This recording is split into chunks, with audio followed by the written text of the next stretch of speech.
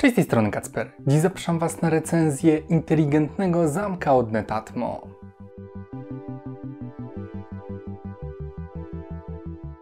Zacznijmy od zawartości zestawu. Po otworzeniu opakowania znajdziemy sam zamek, a obok niego są trzy klucze, które ręcznie pozwolą dostać się do domu. Pod spodem mamy instrukcję obsługi, oprócz tego jest taki klucz główny, który pełni funkcję konfiguracyjną, a także pozwoli przywrócić ustawienia fabryczne. Mamy do niego doczepiony breloczek, na którym jest także kod QR do zeskanowania, jeżeli chcemy połączyć urządzenie z Apple HomeKit. Ważne jest, żeby nie zgubić tego klucza, ponieważ jego już dorobić nie możemy. Następnie znajdziemy dodatkowe nakładki, które pozwolą rozszerzyć zamek w zależności od grubości naszych drzwi. Mamy także śrubę oraz klucz imbusowy, które ułatwią montaż całości. Na koniec jeszcze mamy baterie zasilające oraz małą suwmiarkę, która pozwoli określić jak grube mamy drzwi. Obudowa urządzenia wygląda dość masywnie.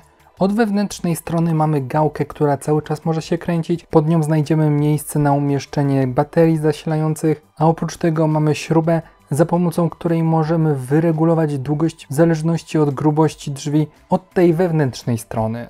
Jest tutaj ponownie też kod QR do zeskanowania w Apple HomeKit, no i w środku mamy też trochę elektroniki do sterowania całością.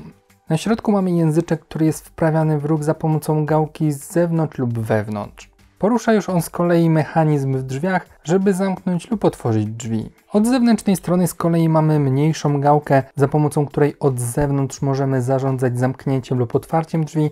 Ważne jest jednak to, że ta gałka nie jest cały czas ruchoma, tylko może zostać wprawiona w ruch, jeżeli zweryfikujemy się za pomocą aplikacji lub tych dołączonych do zestawu kluczy. Te klucze działają na zasadzie NFC, które jest skanowane w środku tego otworu, więc gdy włożymy klucz, musimy chwilę zaczekać, aż klucz zostanie rozpoznany, no i wtedy możemy przekręcić w prawą lub lewą stronę. Ten element możemy zdjąć, możemy tutaj też dołożyć kolejne elementy, jeżeli mamy grubsze drzwi. Ciekawostką jest jeszcze gniazdo mikro USB z zaklapką na przodzie, które ma sprawić, że będziemy mogli otworzyć drzwi jeżeli baterie by się rozładowały. Nie naładujemy zamka w ten sposób, tylko podłączając na stałe możemy wznowić pracę zamka, no bo jak widzicie te klucze nie mają ząbków, tak jak normalne klucze w standardowej wkładce, tylko całość działa już tutaj w pełni elektronicznie. Moim zdaniem jedynie wielka szkoda, że nie jest tutaj już zastosowane USB typu C, tylko no dość przestarzałe mikro USB, biorąc pod uwagę jeszcze to, że to urządzenie zostało zaprezentowane przez producenta już wiele lat temu i dopiero teraz wprowadzone do sprzedaży, no to można było już to wymienić najbardziej współczesne USB-C.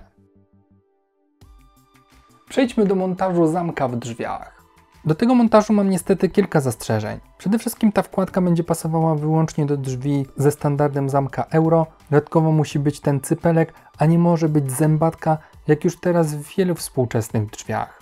Dodatkowo z zewnątrz no jednak widać, że jest to jakiś inny zamek, że coś jest tutaj niestandardowego, no bo tą gałkę mamy cały czas widoczną. No i jeszcze ograniczeniem jest to, że nie możemy mieć okuć na drzwiach przy zamkach. Musi być to, że tak powiem, goły zamek bez żadnej obudowy, no bo inaczej tej gałki na zewnątrz po prostu nie będziemy mieli jak zamontować. Żeby zamontować całość, musimy najpierw wymontować wkładkę z drzwi. W tym celu wykręcamy śrubę w drzwiach i wyjmujemy wkładkę. Może do tego przydać się klucz włożony do wkładki, żeby delikatnie poruszyć języczek do łatwego wyjęcia całej wkładki z drzwi. Następnie odkręcamy tą zewnętrzną gałkę za pomocą dołączonego klucza imbusowego, wkładamy wkładkę do drzwi, ustawiamy w tym miejscu, żeby śruba weszła w otwór w tej wkładce, no i możemy przykręcić tą śrubę. Jeżeli wkładka by była za krótka lub za długa, możemy sobie to wyregulować według własnych potrzeb. Tak jak mówiłem, od wewnątrz robimy to pod pokrywą baterii, a od zewnątrz dokładając dodatkowe moduły. Gdy śrubę już przykręcimy, możemy też przykręcić gałkę od zewnątrz, następnie wkładamy baterię, no i możemy przejść do konfiguracji na smartfonie. No i nie ukrywam, że ta konfiguracja przysporzyła mi dość wielu problemów. Na iPhone'ie totalnie nie udało mi się na początku skonfigurować całości, na którymś z etapów zawsze pojawiał się błąd i mimo wielokrotnego restartowania, przeinstalowywania aplikacji, tworzenia nowego konta, no niestety coś tutaj nie do końca działało. Udało mi się to dopiero na smartfonie z Androidem, gdzie już ta konfiguracja przebiegła totalnie bez problemu. Być może wynikało to, że nie było jakiejś aktualizacji na samym początku moich testów, no bo dla pewności przed nagrywaniem przywróciłem jeszcze ustawienia fabryczne i już w tym momencie udało mi się jak najbardziej za pierwszym razem połączyć z zamkiem za pomocą iPhone'a. Na proces konfiguracji wygląda tak, że musimy najpierw założyć nowe konto lub zalogować się, następnie wybieramy urządzenie, które chcemy skonfigurować. W tym przypadku będzie to firma Netatmo, a następnie urządzenie nazwane jako inteligentny zamek do drzwi i klucze. Dostaniemy tutaj poradnik, jak zamontować całość. Możemy także aktywować tryb parowania poprzez delikatne przekręcenie klucza w jedną i drugą stronę. Na smartfonie z kolei musimy włączyć Bluetootha i najlepiej jeszcze dostęp do lokalizacji. Potrzebne będzie też zezwolenie na dostęp do kamery, żeby zeskanować kod QR. Po chwili zacznie się parowanie z produktem, na koniec możemy jeszcze nazwać urządzenie, przypisać je do konkretnego pomieszczenia i na samym końcu dla potwierdzenia własności wkładamy ten klucz z kartą konfiguracyjną. Jeżeli od razu chcemy, możemy także skonfigurować klucze, umieszczając je po kolei w zamku. Z tego poziomu możemy też nadać nazwę każdemu z kluczy. Przyda to się potem w historii, żeby zobaczyć, kto otwierał lub zamykał drzwi. W kolejnym kroku będzie trwała kalibracja zamka. Musimy wybrać, czy drzwi otwierają się w prawą czy lewą stronę, następnie zamykamy i otwieramy zamek, żeby ustalić pozycję początkową i końcową.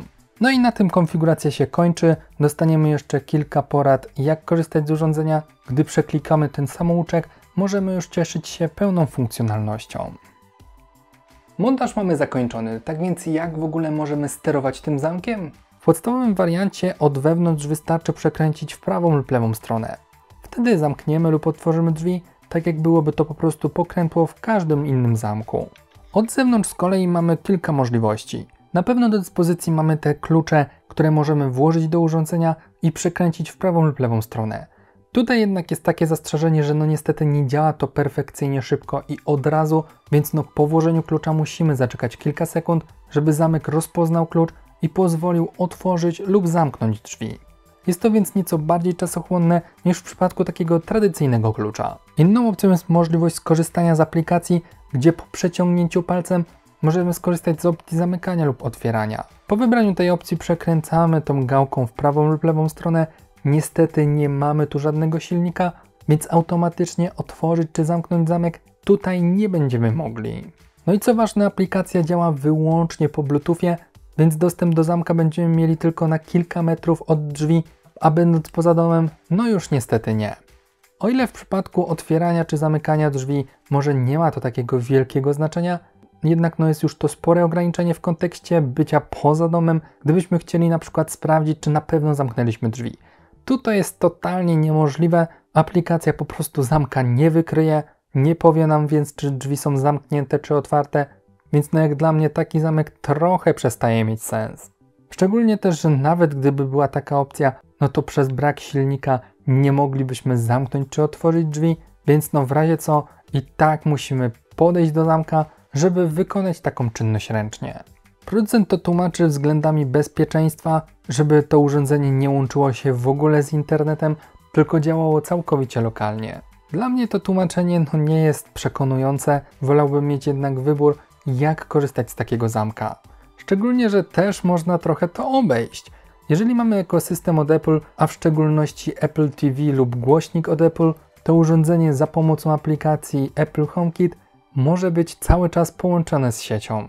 Wtedy za każdym razem, gdy ktoś otworzy lub zamknie drzwi, dostaniemy powiadomienie na smartfona.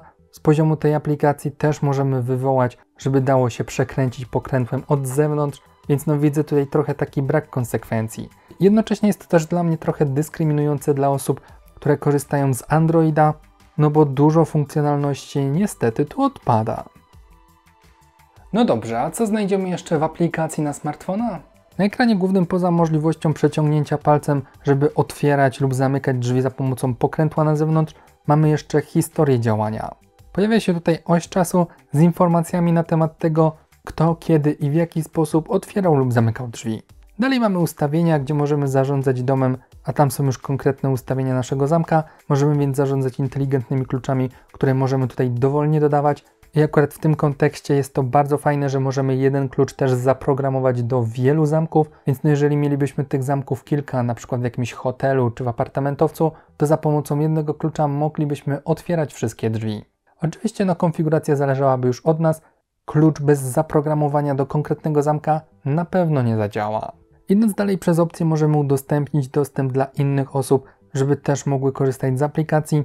Poza tym sprawdzimy aktualizację, ponownie skalibrujemy zamek, Możemy też wywołać rozpoznanie, gdybyśmy nie wiedzieli, który aktualnie zamek konfigurujemy. Zajrzymy także w ustawienia w kontekście Apple HomeKit, a także podejrzymy podstawowe informacje łącznie z poziomem naładowania baterii. Poza tym możemy udostępnić dostęp do całego swojego domu z różnymi zamkami. Tutaj do dyspozycji mamy albo użytkownika na stałe, albo użytkownika czasowego, więc no w pełni możemy to dostosować. Dalej znajdziemy ustawienia powiadomień i rejestrowania, gdzie możemy zdefiniować po jakim czasie mają powiadomienia się usuwać z historii. Dalsze ustawienia są już bardziej takie podstawowe w kontekście mojego konta, możliwości dodania kolejnych produktów, sprawdzenia pomocy czy przejścia do sklepu z dodatkowymi produktami. Jeżeli chodzi o działanie w Apple HomeKit, to możemy jedynie wywołać możliwość zamykania lub otwierania za pomocą pokrętła na zewnątrz. Poza tym, jak wspominałem, mogą też pojawiać się powiadomienia, jeżeli skorzystamy z urządzenia. No to podsumujmy. Co warto wiedzieć o tym inteligentnym zamku od Netatmo? Inteligentny zamek Netatmo z trzema kluczami w zestawie kosztuje aktualnie około 1600 zł. Moim zdaniem niestety jest to zbyt wysoka kwota, szczególnie, że no urządzenie nie oferuje nam zbyt wielu możliwości. Konkurencyjne rozwiązania takie jak chociażby Yell, Nuki czy Teddy może zapewnić nam stanowczo więcej opcji, a cena jest no dość podobna. No bo tak naprawdę możemy tutaj tylko otwierać czy zamykać drzwi, ale całkowicie ręcznie, musimy więc fizycznie włożyć klucz albo ewentualnie skorzystać z aplikacji, z tym, że tutaj w tym przypadku cały czas musi być zasilanie tego zamka, no bo klucze są cyfrowe i w razie co ręcznie zamka nie otworzymy. No chyba, że skorzystamy ze złącza mikro USB na przodzie, co jest dla mnie już trochę śmiechem, że no nie jest to USB typu C, no ale w razie co, jeżeli faktycznie będziemy posiadali taki przewód ze sobą, to możemy wznowić działanie, żeby awaryjnie otworzyć drzwi. Poza tym na pewno na minus jest brak jakichkolwiek powiadomień, nie możemy też zdalnie podejrzeć, czy drzwi są zamknięte czy otwarte. Nie możemy też jakoś zautomatyzować działania, no bo nie mamy tutaj wbudowanego silnika. Poza tym zamek będzie pasował wyłącznie do drzwi, które nie mają okuć, mają zamek z cypelkiem, no i na pewno też całość będzie bardziej rzucała się w oczy niż konkurencyjne rozwiązania, przez to, że mamy cały czas widoczną taką małą gałkę. Niestety dość sceptycznie podchodzę do tego urządzenia, według mnie nie jest to jakiś szczyt technologii, i jak dla mnie trochę pod przykrywką bezpieczeństwa, sprzęt ma dość mocno okrojoną funkcjonalność. Na pewno byłoby to fajne rozwiązanie, ale bardziej bym powiedział dla hoteli, jakichś apartamentów, na przykład w biurach by to się też sprawdziło, no bo na przykład można mieć ten jeden klucz do wielu zamków, a goście czy użytkownicy konkretnych sal w biurze będą miały tylko pojedynczy klucz do jednego konkretnego zamka. W przypadku zastosowań domowych, no niestety jakoś tego nie widzę. A co Wy sądzicie o takim zamku? Czy u Was takie rozwiązanie by się sprawdziło? Dajcie znać w komentarzach. Zachęcam także do zostawienia łapki w górę oraz subskrypcji na kanale, a tymczasem ja się z Wami żegnam. Do zobaczenia w kolejnych filmach. Cześć!